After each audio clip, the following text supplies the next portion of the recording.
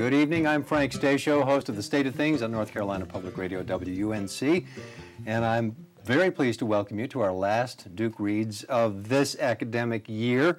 Tonight, Steve Nowicki, Dean and Vice Provost of Undergraduate Education at Duke, is joining us. He's also Bass Fellow and Professor in the Departments of Biology, Psychology, and Neuroscience at Trinity College and in the Neurobiology Department in the Duke School of Medicine. He holds a BS and MS degrees from Tufts University, a PhD from Cornell, joined the Duke faculty in 1989, and was appointed Dean and Vice Provost for Undergraduate Education in 2007. He's the author of a number of technical articles about neurobiology and behavior, co-author of The Evolution of Animal Communication. His research has been supported by the National Institutes of Health, the National Science Foundation, and the Alfred P. Sloan Foundation, among other organizations. In 1999, he was awarded the John Simon Guggenheim Fellowship, also received the Robert B. Cox Trinity College Distinguished Teaching Award. And in the mid-1990s, he comprehensively revised the introductory biology program at Duke, including the development of a new teacher training program for graduate students who serve as mentors to student, uh, student learning teams. He's the author of a high school textbook, Biology. What's that about? Biology. he also plays the trombone, the tuba, the Duke in the Duke University pep band, balancing his uh, his professional time between research, teaching, administration, and basketball games, and somehow found the time to read Bel Canto, which is his choice tonight. Uh, Bel Canto, of course, by Ann Patchett. As Steve indicates, that it caught my attention immediately because I'd spent a summer working in the Peruvian Andes in the late 70s, just as the Shining Path and Tupac Amaru revolutionary movement was taking hold. So we should start the discussion. You were up. That's a that was a pretty dangerous time to be there. Well, I didn't know it at the time, and it and I don't think anybody knew it at the time. Um, I was a graduate student and interested in doing field biology in the Andes, in a part of the Andes. It's called the Altiplano, the High Plateau. And so I went up there with backpack and uh, binoculars and notebooks and spent a, a remarkable several months uh, living with um, the people up there and traveling around. And it was only when I got back down mm. to Lima that um, I realized that things were pretty tense. Mm. You know, I had gotten into Lima, I got right up into the mountains, I came down, it took me a while to get a flight out and there were soldiers on every street corner, and it was a tense time in Peru then.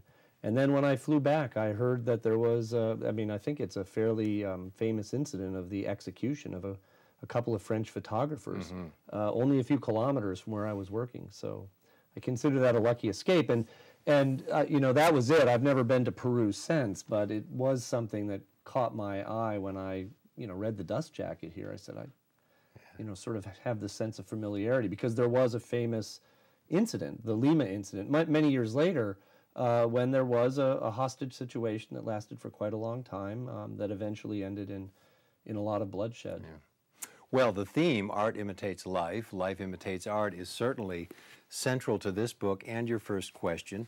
Uh, from the very first sentence, opera is used as a framework that connects the characters in the book. Could anything else, the visual arts, science, and politics, have served as equally effective a framework? Why or why not? What do you think? Well, you know, I can't think of anything else that could have worked. I, I mean, maybe not opera, but but certainly music. I mean, and certainly music because it it is um, you know something that provides a narrative that that charms people. And you know, early on, these young terrorists are, are, are deeply charmed by Roxane's voice. Uh, and in fact, I remember there's an expression early on where, um, you know, it's thought uh, in the villages where they come that a girl could sing had caught a bird in her mouth, mm-hmm. right? That was the way they thought about it. Um, and opera in particular, because opera has a storyline associated with it. Um, and I think that there's, there's an interesting um, parallel here with the, the high opera that is the music that brought, brings everybody together and starts the mixing and the confusion of relationships. And, you know, the, the other opera, the opera on TV, you know, Maria and the soap opera, that also is drawing in, you know, many of the terrorists as well. And there's sort of a parallel set of stories about uh, the difficult times And again, it's it's sort of life imitating art and vice versa throughout. Yeah, and opera, as you say, it's not only it's it's lyrical, it's emotional too. I mean, it really is about how you feel with a narrative line and a structure. Mm-hmm. And it made me really wish I knew more about opera because I, I, bet if I did, the structure of this novel would, would be yet another level of enjoyment. Well, me too. I mean, I, I have to say, I, I, I, actually was trained in classical music when I went to college first, so I, I feel like I'm comfortable with that genre, but I, I actually don't know opera deeply. And, you, you know, one wonders if you knew the operas that they're referencing, if you wouldn't see some of the themes or actually the whole plot line right. play out. Um, through some of those operas. And I wonder, I, am just speculating on the assumptions that Ann Patchett is making, but I think of opera as, as mostly uh, sung in other people's languages. So the idea of being moved, you can listen to Italian and exactly. German opera and be moved and not always know what they're saying. Exactly. Let's, and you know, the, the, the central relationship that develops between uh, Roxane and Mr. Hosokawa, you know, the, a deep relationship that, that eventually leads to deep passion, that they could never talk to each other. Right. But it didn't matter. It didn't matter at all. They communicated, and of course, they communicated through Gen, and we'll get to some of that. Joanne had a response to, to your first question. She said, I think that opera was the most effective framework to connect the characters. People from all countries who spoke different languages were all united through the beauty of Roxane's singing. Her singing was the connecting force in the novel and opera crossed all language barriers. Terrorists and guests were mesmerized and were later connected through the medium. I don't think there was any other option or that would have been as effective, uh, and anything else probably would not have worked. Well, I'd have to agree with Joanne. I can't imagine myself what would work. Although through it all, and we can't forget that, that it's true that everyone in the room, uh, both the terrorists and the hostages, were mesmerized and enthralled with her singing. The fact is that Gen did play a key role in the translation. So language itself, and I, and I think ultimately the, the relationship that he had with her, and frankly his boss's relationship, it was a kind of speak for yourself, John, yeah, um, um, yeah. situation. So we can't forget the, the value of language in all this. Well, the, the, the, the, the relationship that develops between Gen and Carmen, you'll recall, right. you know, she first comes to him and I mean, and in a very, you know, sensual scene, you know, lies down next to him and her, her eyelashes are brushing against him. But she says she wants to be taught language. She wants to learn how to actually read Spanish and she, and maybe even learn English. And so, you know, she's captured by the music, but what she really wants is is the language, and that draws her to Gen. And, and that's something, I mean, it's interesting because he's giving, uh, I mean, he's vital to everybody. He's important to everybody. There's no question about that. But there's something, to me, different about her request in that she was asking for a gift, the thing that he knows how to do, not just, not just to act as a, an intermediary, right. but show me this thing that you do and how right. you do that thing. Yeah, and that, exactly. that, that gets to some other themes in the book that we'll talk about. There are a lot of gifts that are asked through this. Um, the uh, the terrorist, um, the little boy um, uh, Ishmael, you know, mm-hmm. wants to learn chess, and of course, at the very end, the the young terrorist um, uh, Caesar, you know, just bursts forth with song. And you know, earlier in the book, you know, he's like everybody else, just enthralled and I mean, you'll recall that he, you know he actually has an erection, but he hmm. he understands that it's the music that's doing it for him, and he you know wants to. Although interestingly, that was a big turning point because he was afraid to, or unwilling to, or unable to ask Roxane to teach him. You know, he goes and runs and hides in a tree, and and in many ways, that's sort of the beginning of a transformation of the whole uh, set of relationships, you know, before and after that incident where um, uh, Caesar runs off, you know, everything changes. Yeah, it's interesting too to think about that. You talked about gifts back and forth, and I think one of the things I took from this book is a deeper understanding of what what love really is about being able to give, sacrificial kind of giving, and and a sacrificial receiving, accepting in that deep way. Yeah. And you know that you know that asking's a problem when we can see characters who have a deep yearning and don't know how to Yeah. don't know don't know how to ask. The guy's got a gun. He's got a gun. He's taken the place by force. That I can do, but I don't know how to ask you Yeah. for something that is essentially yours, and you have to you have to be willing to give me. Right. Yeah. He couldn't point the gun and demand it. Yeah. Yeah.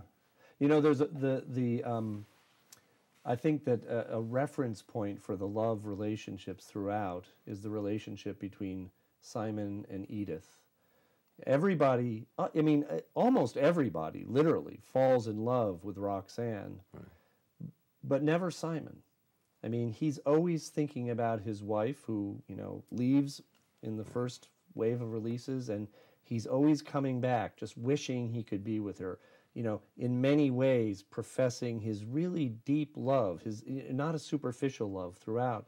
And I think that provides us with a reference mm-hmm. of of a love relationship that we can keep coming back to throughout as these other relationships are developing and forming in very complex and some sometimes very unexpected ways. And you know, it's interesting you say that because they did change and they changed a lot. And having that reference point mm-hmm. allowed you, as you just said, allowed you to see how things had changed. And yet, throughout the book, the, the, the hostages are all talking about, and, if, and everybody in that house, about how slow it's all going. And they're giving the impression that over these four months, you know, how could this thing drag on so long? Yeah. So you have these, I I think, then this is the craft of the writer, these wonderful dynamics where there's a kind of a yes, slow motion drawn out. How many more trays of food can we possibly, you know? And yet the dynamics are spinning at superhuman speed. People don't fall in love and out of love that fast, especially with guns in the room. Um, I, I think it shows great craftsmanship. Yeah, the, the narrative is actually in, in some ways very slow. Not much happens. I mean, in terms of action. Um, uh, just a few events really that are pivotal, but but but I found it a page turner. You know, as much as any action novel could be.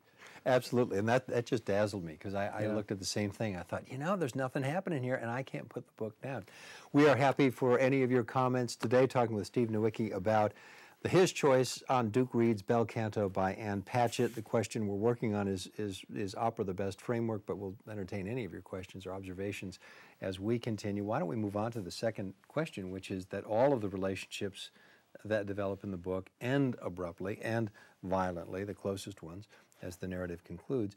Is there a broader statement being made here, or is this conclusion just an inevitable consequence of the circumstances that brought the characters together? I, I, I have to say that um, I knew as I was, you know, getting to the end of the book, you know, I mean, and you're told right up front. I mean, you know, the author tells you right up front that all of the terrorists are going to die. I mean, that, that, you know, in an ironic sense. So you know this is going to happen. And it's just getting closer and closer to the end of the book, and you're wondering what's going to happen. I mean, it built a, an interesting kind of, um, you know, Hitchcock tension for me. And then, you know, for me, all of a sudden, again, Roxane is singing with um, with Caesar, and she screams, and you've had you know almost 300 pages of narrative, and it's over in three pages, and it's very, very terse. You know, there's not a lot of deep description. Um, was um, Carmen's death was not described in the same way as any of the other deaths.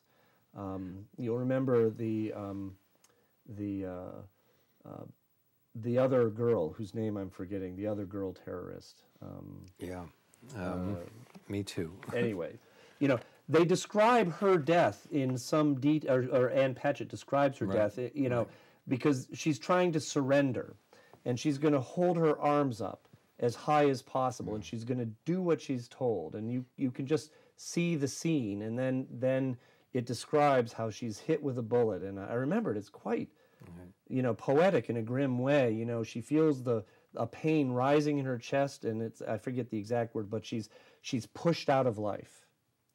But with Carmen, what you hear instead is Gen saying she of course is going to get away. She's the cleverest one, and you know Gen starts screaming, "She's my wife! She's my wife!" He doesn't know where she is, and then the narrative just turns and says, "But of course."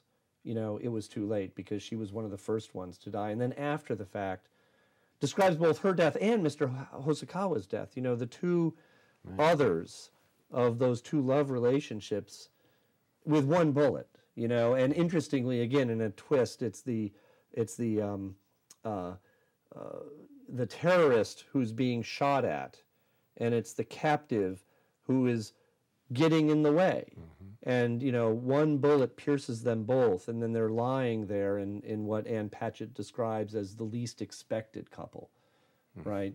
And they were the least expected couple, but now both dead. And so it's just such a sudden ending, and then an epilogue. And a beautiful turn of the phrase because, again, as I as I began to anticipate how this was all going to end and thought about some of the deeper themes, and, and love was certainly one of the big ones that had emerged by then. Then love, then the willingness to love, in in the certainty of death. One of us is going to leave this relationship. Neither of us gets out alive. That's a remark. It made me see how remarkable that is Yeah. to agree to be in love to develop a relationship when i know one of us is going to have to endure the death of the other Mm-hmm. so for so, so for them to be both an unlikely couple and yet the inevitability of their Yeah. death in the same sentence uh, Yeah. was both uh, i thought a, a work of craftsmanship but sort of brings you to that moment of Right, very touching. reflection Very Um, touching.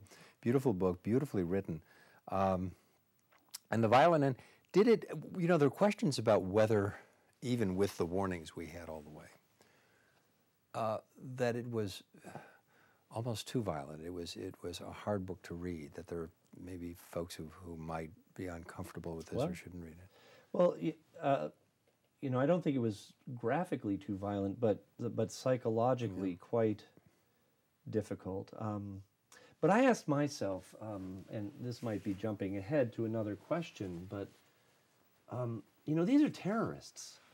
They come in and um, with guns, and they take a whole bunch of hostages, and you know that they're bad people. I mean, they're bad people because they're terrorists, right? And in this modern day, how could we have sympathy for a terrorist? But um, you know, somehow you lose that sense. You know, you you gain a sense of even even the hardest of the two generals. You know, I think it was Hector. You know, finally he relents. He lets people go out, and and it's that um, kind of softening that I think is what you know um, is is counter to the violent end. In other words, if we if we didn't know these people, if we were just reading the newspaper, if we were in Durham, North Carolina, and we had been following something like this through the newspapers, and and we learned that all of the terrorists were killed and only one hostage was killed, we'd say, what a success! exactly What a success!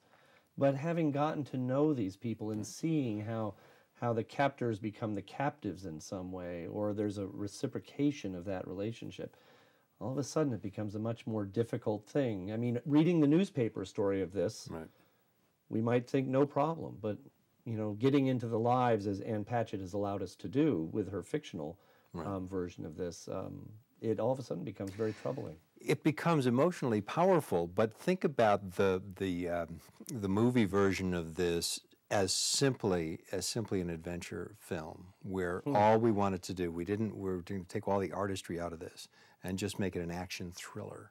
So all we cared about was the bloodshed. You can imagine how shocking all of that would be. One of the things that, in effect, softens it for me, at the same time it makes it more deeply felt, is precisely because they had relationships. So at least they had that. So something was born out of this Right. mayhem and bloodshed. Right. Something was born, and you're left with that, or I was anyway, that, that feeling that, well, if this is what it took, you know, Yeah. then, then at- least there was that. At least these relationships emerged. Right. The captives remember, and you know, there's something of the now dead captors that you imagine will survive in the mm-hmm. minds and mm-hmm. imaginations of of those who were captive. In fact, near the end, I I recall one of the things that upsets Gen in the very final chapter, you know, after he marries Roxane, mm. is the fact that the newspapers didn't mention the two girls Right. and that somehow seems wrong to him. Why don't we move on to the third question? And uh, again, if you have any questions or comments or observations about Bel Canto, uh, we'd love to hear from you, especially the writing. I, I just found, again, the, the, writing was both powerful and simple and mm-hmm. funny. I mean, there were these, these quick turns of phrases that were clever, ironic, um, never overwrought, and yet powerfully done. I was just uh, so impressed with the craftsmanship. Bel Canto uh, presents a strong visual sense of place. One can almost walk through the house in one's mind after finishing the book. Um, how does the author make this happen, and how does this strong sense of place support the narrative? Well, uh, you know, I wonder if everybody who reads this would have the same visual sense that I had. I'm, I'm not convinced. It would be interesting to know what other readers think right. about that. Um, I could picture the living room. I could picture the back stairs. I could picture the kitchen, but but mostly I could picture sort of the the uh, overall atmosphere. I mean, one of the things that that re- I remember that just keeps coming back to is the this um, this uh, persistent, deep, misty fog that's so characteristic of the Peruvian coast, the Garua, and they you know they refer to the Garua. It's just obscuring the outside and so everything is in the inside. And you mm. you know there are walls outside but you don't get to go outside and so it's all reflected inside. And then for me when you know that lifts you know i think it sort of starts lifting in in sort of the late fall in that part of the world and you're getting into winter. So you know after the first few weeks that lifts and they can start seeing out and they know there's an outside world and then of course when they're allowed to go outside, all of it, all of a sudden now you you you read about the gardens and you see the wall and you get a better sense of the place. Um, to me, that was that was really compelling uh, imagery that came out of, as you say, the elegant uh, and simple turn of phrase. It was the other thing it did was because it stimulated the, your, the visual so much. I mean, because you had these sharp, clear pictures, and again, the cleverness of an emerging clarity of the mm-hmm. outside world as, as the seasons progressed, it, it also brought into relief how much you couldn't see. You really wanted to see the faces. I mean, Messner is going back and forth as the uh, negotiator, but who's on the other side yeah. of that? Who That's are true. those people? You know, what do they look like? Where are they living? Right. You know, and, and, and, and who, who was it that was really controlling the outside? Right. And, you know, right. Messner, um, I mean, one of the few people, well, actually, I think even he early on did have a little bit of a love statement about Roxane, but really trying to, to stay very neutral. Um, uh, and on the other side, somebody was making plans, digging tunnels. I mean, I never figured out what happened, to tell you the truth. Did they mm-hmm. dig a tunnel and yeah. come up through the floor? Did they just come through the other side because they knew that everybody was playing soccer on one mm-hmm. side of the house or something? But but whoever was making those decisions, um, you never got to know. And then, of course, the, the president, the, who was supposed to be right. the hostage, right. you only got to know just a little bit in a superficial and, right. and, and um, you know, somewhat comic sense early on. And the only reason he missed this was because of an opera, a soap opera. A particular kind of opera, right? But, but an opera. yeah. Yeah. The uh, and and the, the role of the mediators too. Gen, on the one hand, uh, who's the language broker and communicating messages, and then Messner, But in in the case in Gen's case, we know who he's talking with, and we can see some of the outcomes. We can gauge reactions and how it's all going.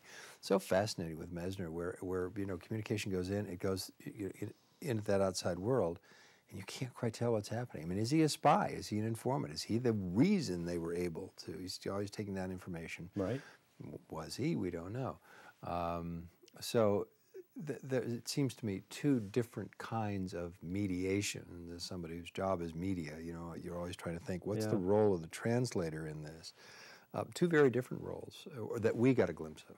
And and you know, at the very end, Messner, um, you know, he becomes very agitated I mean, the last meeting or two, you know, he's clearly upset yeah. because he clearly knows yeah. that this is about to happen and, you know, wants the generals to give up, tries to convince Gen to give, you know, to convince them to, or tells Gen to convince them to give up. And, and, you know, I mean, that's when you knew that the, yeah. the shoe was going to drop when Messner clearly mm. is upset. And then I think at some point, you know, he just comes in very perfunctorily and leaves and, and then, you know, it hits and it is.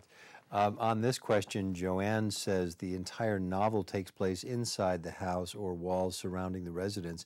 One hears the noises from the town and on the other side of the wall, but the description of the setting outside the walls is non existent. Uh, through Patchett's description of rooms, closets, stairways, and garden, and the manner in which various characters, often in secrecy or at night, make their way through the house or the yard, one feels as if one's present in the novel's setting. The stable setting enables the characters to form relationships. The story develops in a confined space, and I have never read a book, she says, which has so greatly transported me into the setting. So Joanne's with you 100%. Well, well said. I mean, that's, that's really well said. And actually, that's a very interesting point that by having such a, a strong sense of place, it provides a set, a stable set, where these relationships will develop. And, you know, I mean, um, uh, the bedroom that Roxane, as the only woman captive, is allowed to sleep in, is guarded on the outside by Carmen. Um, and, you know, then you find out that there's a back way to get to this. And, you know, it, it's fascinating. I agree. And, and it's that stable set that allows the characters to not only move around in interesting ways physically, but, but uh, in terms of their relationships and emotionally. And again, if you imagine an opera stage, that's exactly what happens. That's true. That Good that point. you're given, you know, that that's all the space they have. Right. And everything that you know transpires has to happen Right, there. and the sounds offset are just the noise of the war, or the city, or whatever. Yes, exactly. And and yeah, and there is Mm-hmm. that outside world over and against their, you know, sort of what keeps them going.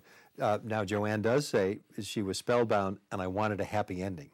Ah, And in a way, I suppose, I mean, the very ending is. well, I wanted a happy ending too. I always want a happy Yeah. ending, but I, as I said, I, I think that uh, Ann Patchett makes it pretty clear at the beginning Yeah. that this is not going to be a happy ending.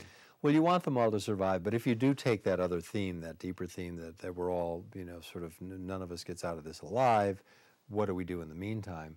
Um, th- th- there is something that comes out of it, so you can take that away. But yeah, when you get to know these people and they get to be your friends, and look, she gives us, some, I mean, some reason to sympathize with them going in. I mean, they're not being, you, you may not agree with their tactic, and I wouldn't, but they've been through some rough times. They've been treated very badly and they've lost people too, and Right. and they're pretty powerless. And this is about the only way they can figure to do this. So right. we're not. It's not as though they're doing it for the money. Well, and, and when I was in Peru many years ago, uh, living up in the Altiplano, the poverty Yeah.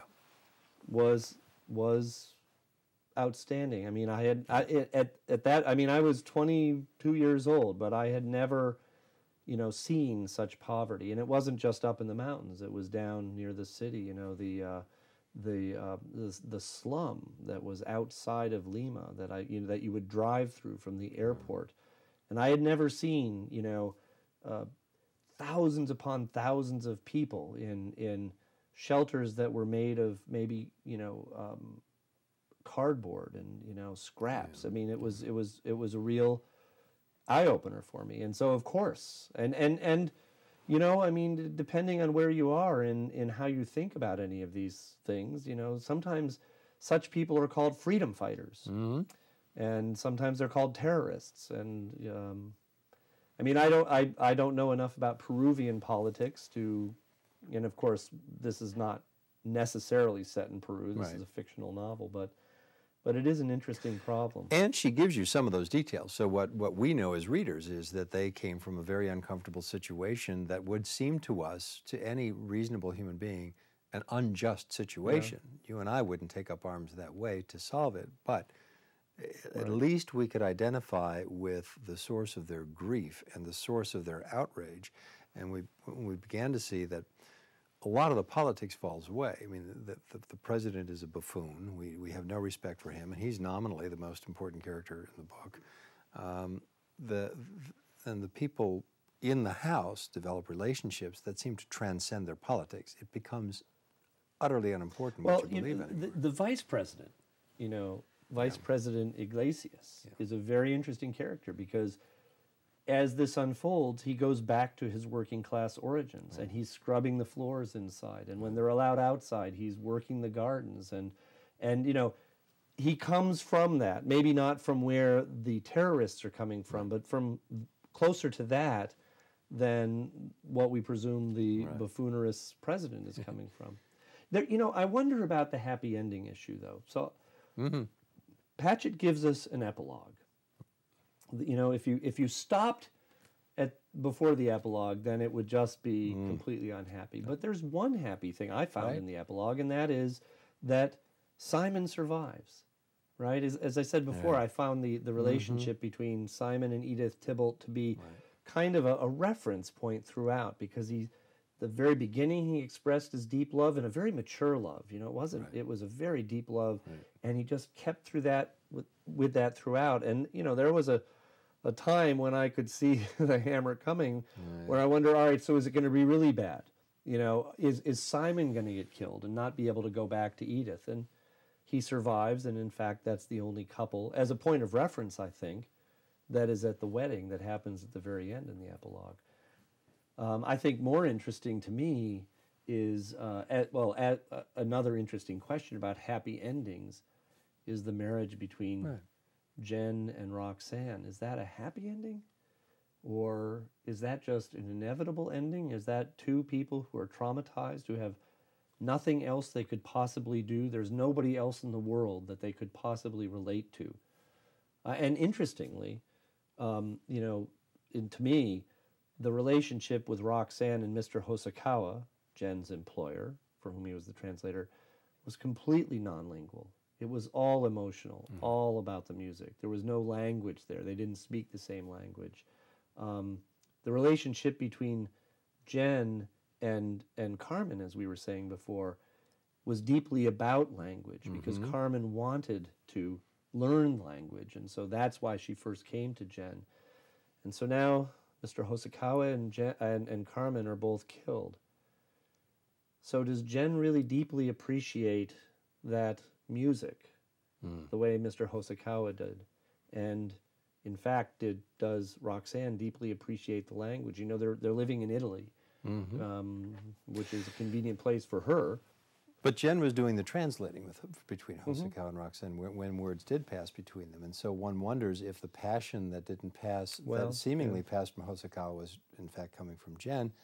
And the other question is: Is there something else about me that's lovable other than this great gift of mine, Right. which is, which is music that he may have recognized all the time and have been expressing in the guise of a translator, but in fact it was his own passion. Well, that is true, and and I think early on there's a, a, a when when this is first when when Mr. Hosokawa is first relating to Roxane, there's a, a passage in there talking about this connection between Mr. Hosokawa and Gen as being uh, I forget exactly how it's described, but you know, sort of.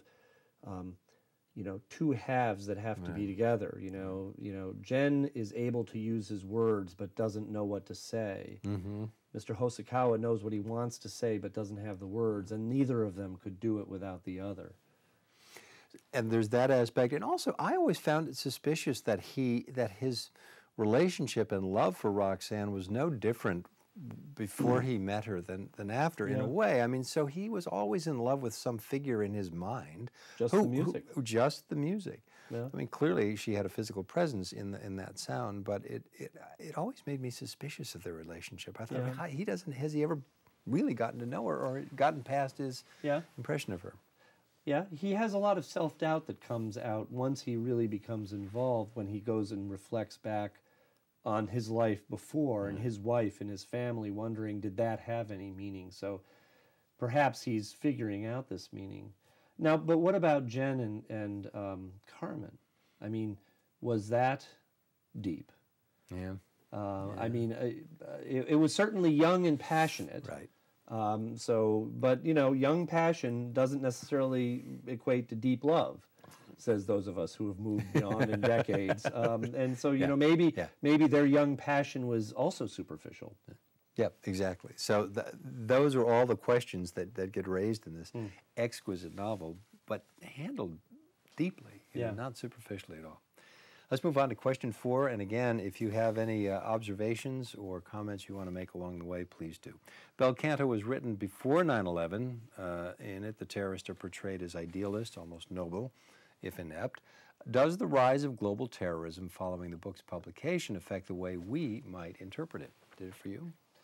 Not for me, um, and that's because I was just thinking about um, you know. Uh, uh, you know the South American scene, which is very different from the global terrorism we think about now.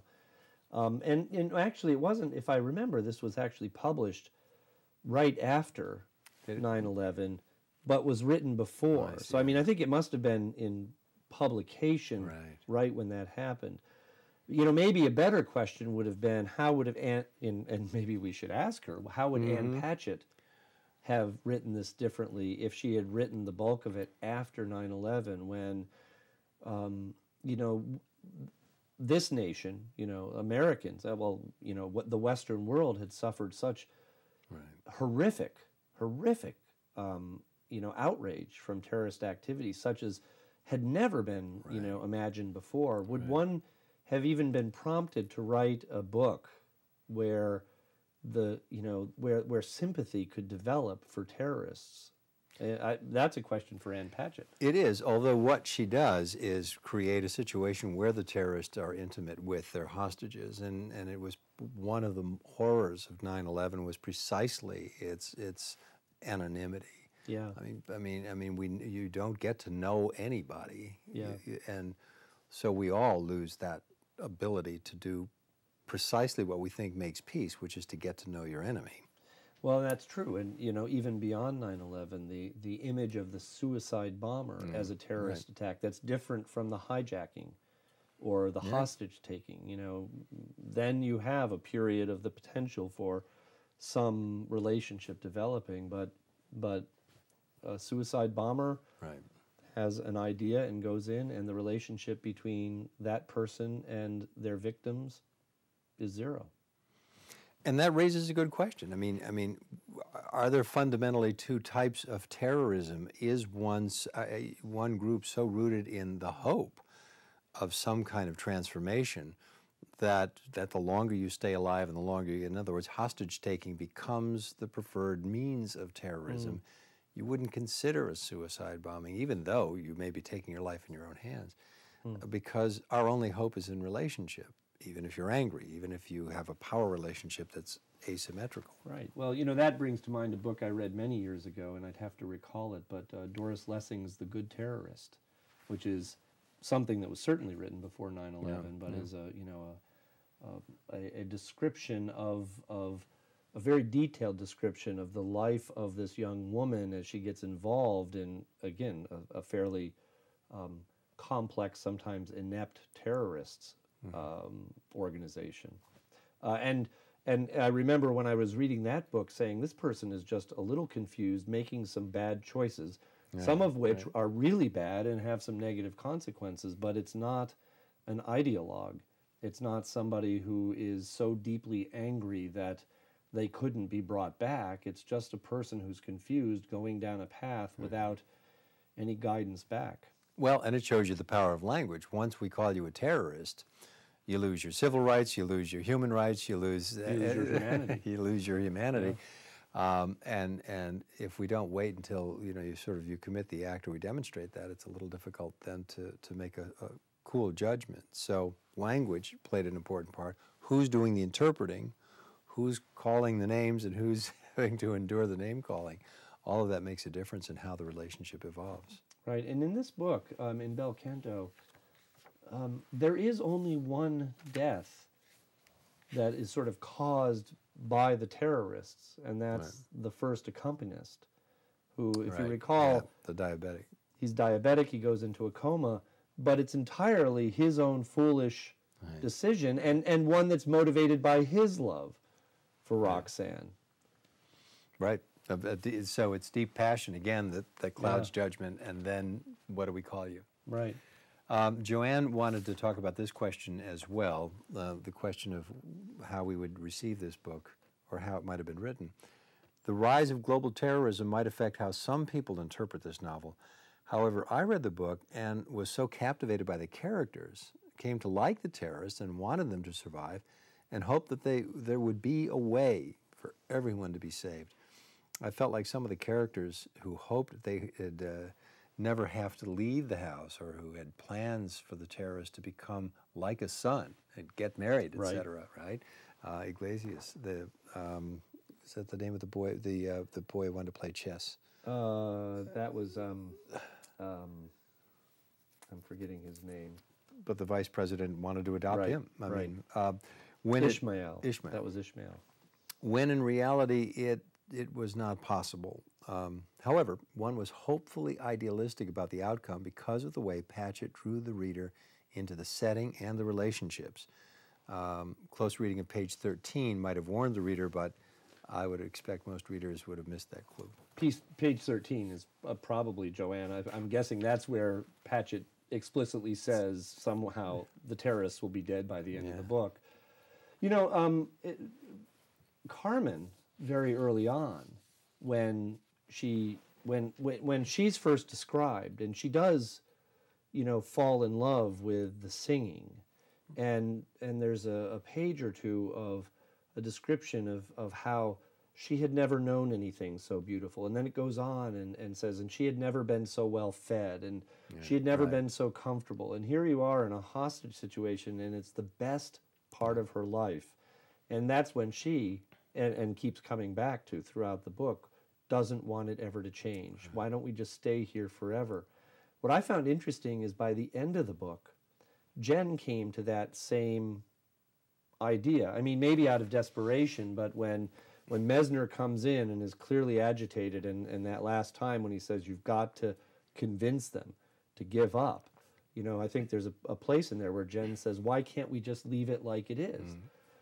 When you think about it, though, uh, you know, that's that's absolutely impossible. I mean, Right. you, I mean, how could you possibly do that? But but I'm with Joanne. I was I was hoping, and and with Gen and with and and with uh, Carmen. I was just hoping that that we could all work it out. But that's again what I think is the power of this book because Ann Patchett is able to bring you in to that deep hope. Even though if you just sort of shook your head, you'd say, "Well, there's no way it can work out. I can't possibly work out. There's no way." Um, and then she pulls the rug out, as I think she should have. I mean, Right. as, as as awful as that was at the end, I mean, that's that's the reality that it was brought to. But two things happened. She reflected a reality that is very likely. It has happened before. It will happen again under those circumstances. And so, you know, we congratulate her for not, you know, going off into a fantasy. But she also created another reality that is also true.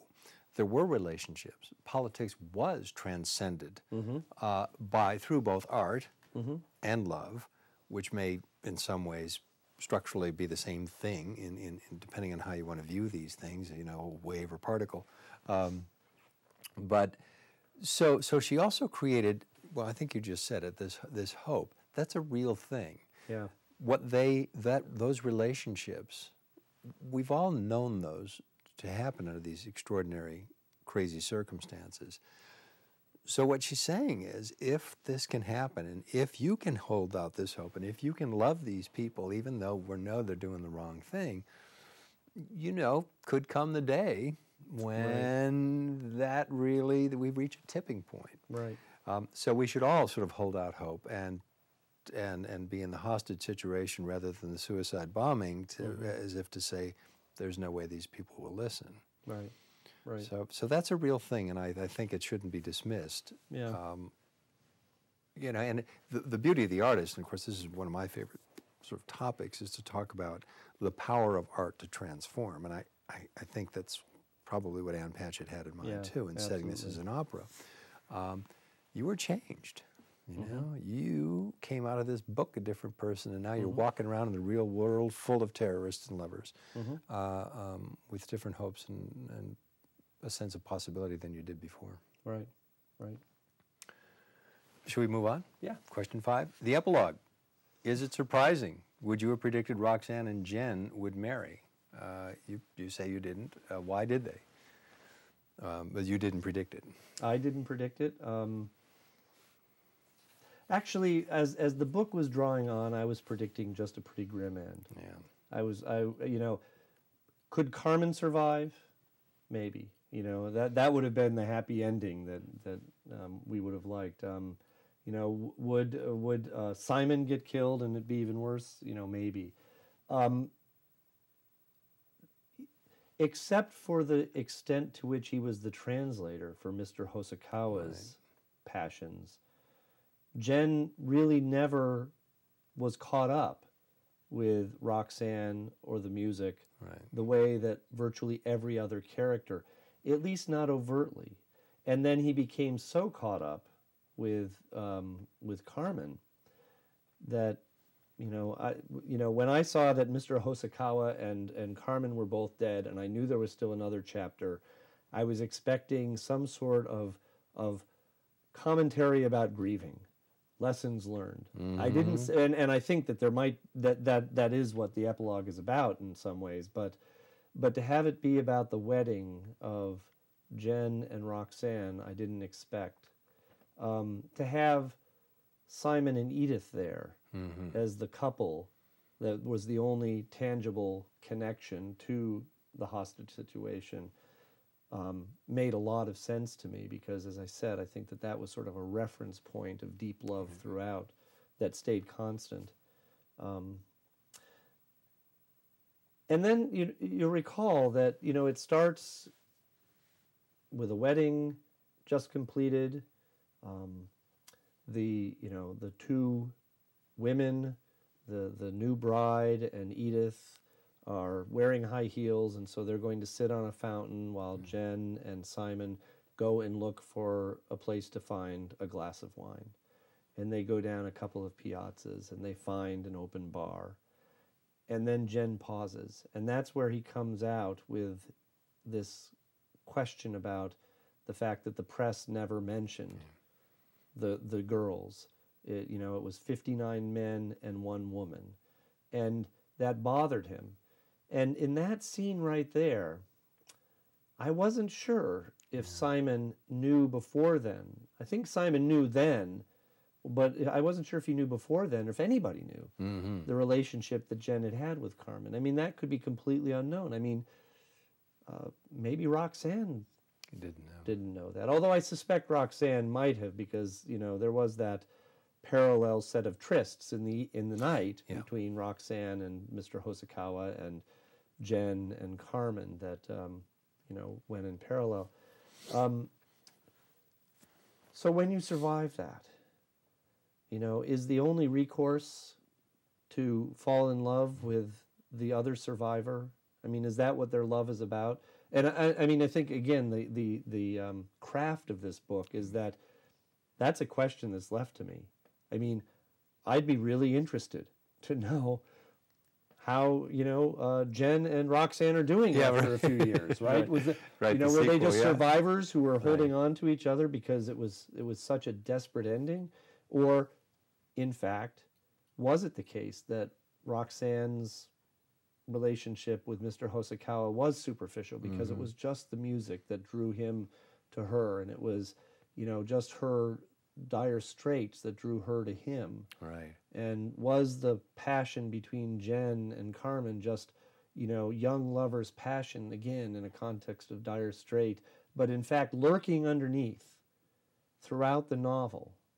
I'm just making this up. That's. I we- mean, I, but it, it just occurred to me. But Yeah. but is it possible that lurking underneath throughout the novel was actually the other real true love that Mm-hmm. could emerge that we don't know if it did because I don't because it's not stated, but that could emerge, which is between Gen and Roxane. Well, I, those are all good questions, and I think they do, uh, because of the book is uh, so well written. You're left with all of those possibilities. Uh, as I said, I was always suspicious of Hosokawa and Roxane. I just never felt like he knew her at all, or and ever got past that. So that particular relationship, I didn't trust. There was a fleeting moment when I began to think about the role of mediator, and Gen as the one expressing the passion you know, I wonder if this is his passion. I wonder if, if what's really coming through here. And if I'm and if I'm right about Hosokawa not really being engaged mm. in the woman, in her, mm. in this person, but she feels he is, th- how does she feel that? Through Gen. So he's communicating his love for her and he doesn't quite understand it. He's certainly not interested in the music that occurred to me sort of briefly, but then all the rest of it, and Carmen, and that seemed so passionate. So I dismissed it was a fleeting moment. So it wasn't a total shock when they got married. although it was, I mean, be, just because of the horror of the ending, Right. the last thing I expected was the Shakespearean comedy, and that struck me. You know, this is how we know it's a comedy in Shakespeare. It ends in a wedding. Yeah, yeah, that's a good point. So what's Patchett trying to tell us after all this horror? Right. She just plops a, a wedding at the end, just like they do in Shakespeare, and, know, it all uh, lives uh, happily ever after. Another small thing that you know I, I just couldn't figure out is when did that wedding occur? It occurred in May. The Garua in Peru kind of is you know sort of a summer thing that goes into the late fall. So this hostage situation started in the fall and it went through and it mm. was spring, you know, because they were outside, the Right. weather was nice, the, they were planting gardens and whatnot. So was it a month or two later that they got married? A year or two later that they mm. got married? I mean, again, I think that's that's delightfully ambiguous as to whether that May wedding May wedding was just shortly after the hostage situation or a while after. while after. Something had developed and it took a while. Not, I don't know if that's critical, but I thought it was interesting that it was ambiguous. And um, also interesting that uh, Simon and uh, well, they, that they maintained the relationship, um, so that he was at the wedding. Clearly, they Right, either stayed in touch or, or, or felt it was important to get back in touch with him. Uh, so on this question of uh, of the surprise ending from Joanne, the epilogue surprised me, and I would not have guessed that Roxane would have married Gen. I think they married as a way to keep the memories of their loved ones alive.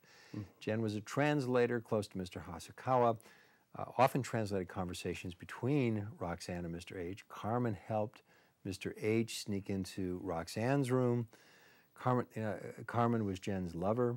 Um, perhaps Gen's admiration for Mr. Hosokawa and his love for Carmen could remain alive through the marriage to Roxane mm-hmm. and his listening to her singing opera. This is the quote, quote from the book When I hear Roxane sing, I'm still able to think well of the world. I don't think I would last a day without that now, says Gen Yeah. on page 318. Yeah. And that gets back to your point that, that, that his sense of memory and who, what's remembered and what's forgotten is im- important to him. Right. That Carmen would not be part of the record Right. troubles him, and that the singing keeps the record alive. Right. and it's interesting with that quote that um, Gen doesn't comment on the music early on, Right. and everybody is taken with the music. Gen doesn't comment on that, but by the end, in the epilogue, that comment that he makes makes it clear that that he is now really focused on that music as a way of of of of being able to move through the world. Right. Yeah. That the art itself has, has come through to him. And that he may have channeled to some extent. I mean, if they were the sort of the yin and the yang, you know, Yeah. to, together. Now Hosokawa is gone. He can. He Yeah. can. Um, I also think he took the role of mediator seriously. I mean, I think he began to understand the importance of it, and so when his lover goes unmediated, unremembered through, I mean, through the media, that this is a dereliction of responsibility. It's also possible that he grew through that relationship, that it, it grew, and I think you suggested this earlier, that we start out kind of passionate and hot, and that's one thing. And then over time, you, you come to understand what real meaning is. He may have reflected on his communication with Roxane and said, you know, I don't think I was speaking for my boss. Right. And so it's a kind of evolution, too. Um, this is uh, also from Joanne on page 13. Readers are forewarned of the unhappy ending. It was the unspoken belief of everyone who is familiar with the organization. This is the quote um, that they, they were all as good as dead. I missed that in the first reading, she says, but had been told there was a mention of the ending before my second book club reading. I found the passage. Uh, I was, I too was disappointed. I would have preferred a happy ending. and then, um, I think I read, this is, yeah, that's the same one. That's good. One more from Susanna in Durham. I loved the book almost up until the shocking ending. For me, the happy fairy tale ending without the prior reference destroyed the story. Oh, so the epilogue, the epilogue, The the, happy. That, so the the epilogue scene is as trying to impose a happy ending Yeah. on what is really not something that could have a happy ending. I could see that. I mean, the epilogue, it is it is titled epilogue, right? And so mm-hmm. it's not chapter whatever. Right. It's not the last chapter. It's an epilogue, and in that sense, like in Shakespeare, it's you know, a time perhaps to draw all sorts of things together. You know, there's an interesting thought that comes to mind now that you've mentioned Shakespeare is that so many of Shakespeare's comedies and tragedies, you know, transport the characters into another world. You know, the the the world of the forest in Midsummer Mm-hmm. Night's Dream. You know, out on the moors and King Lear and so forth. And you know, after the characters are transformed, however they are, in that other world, Right. they come back and there is an epilogue that's sort of trying to draw things together. And, you know, Shakespeare, of course, is very different in many ways, but some of those epilogues just do seem like they're trying to tie things together to Right. get to an end and, and have a bow tied around it, necessary for, um, you know, a Shakespearean audience, um, I Yeah. would guess. Uh, and maybe our, you know, the modern audience, um, you know, it sometimes doesn't work to tie the bow. It's possible. I mean, I can. I certainly understand. I think it was uh, is that Susanna uh, uh, the the impulse to to call it that. But I have to say, I got to trust Ann Patchett as a writer so much Mm. that I don't expect her to her last sentence to be the cheap, you know, sort of. When they, it was all a dream, you know. Right, So right. You, you, you sort Yeah, of think yeah, yeah, she's yeah. not going to do that. So so. I guess I had this faith that because she was such a good writer, it wasn't quite that pat. Because this theme for me, the, the, the idea of true love is the courage to love in the face of death and the courage mm-hmm. to embrace the sorrow of, mm-hmm. of, of our house. I mean, where we are, Yeah. the sorrow of those conditions which we don't have too much control over Yeah. Um, is a way to say these are how this is how it is brought together. This is what true love is.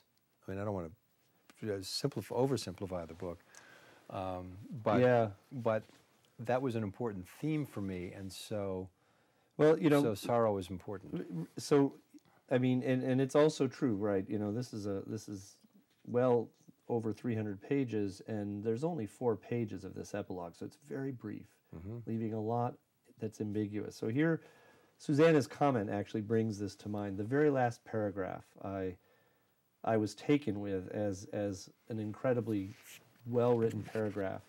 This is after you know they found the bar they've gone through this issue of, of simon understanding the the relationship mm-hmm. between gen and carmen and so the two men turn back to the corner and they see their wives there sitting right and the wives stand up right and they describe edith with her dark hair and roxane still but then the last two lines or either one of them could have been the bride Thibault was sure that there had never been such beautiful women, and the beautiful women came to them and held out their arms.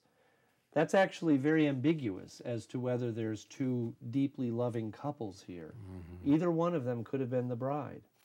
You know, so is that making it making a statement that that in fact this is uh, somewhat of a contrived um, uh, relationship that Gen and Roxane have come to?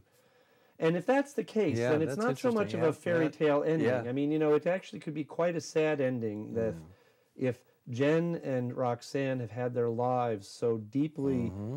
uh, torn apart by the development of a. Now that we're changing the tune here because earlier we were wondering whether those two relationships were more superficial, but let's say Yeah, it really yeah. is deep between Right. Mr. Hosokawa and Right. Roxane and between Gen and Carmen. And that's gone, and they have nothing else that they can do to live their lives in a stable fashion except to be with each other because no one else could understand the loss. And so Yeah. it's not so much of a fairy tale as really making the best of, of a bad situation. and and I think makes the sorrow all, all that much more Yeah. deep because you realize how agonizing the loss is. Yeah. What a pleasure, Steve Nowicki. Thank you Hey, so much. my It was terrific and a pleasure to be with you. Thanks, Steve Nowicki, for uh, participating in Duke Reads. It's been a pleasure to be with all of you this year. Uh, for those in the audience, a reminder that this session will be available on Ustream, YouTube, and iTunes shortly. This Friday is April 23rd. Tune in to U, uh, Ustream for office hours at noon Eastern Time. Duke Professor Cathy Davidson is going to talk about learning in a digital age. And this summer, we're going to let you know about the Duke Reads selections for the coming year. I'm looking forward to that. I hope you are as well. Thanks very much. Good night.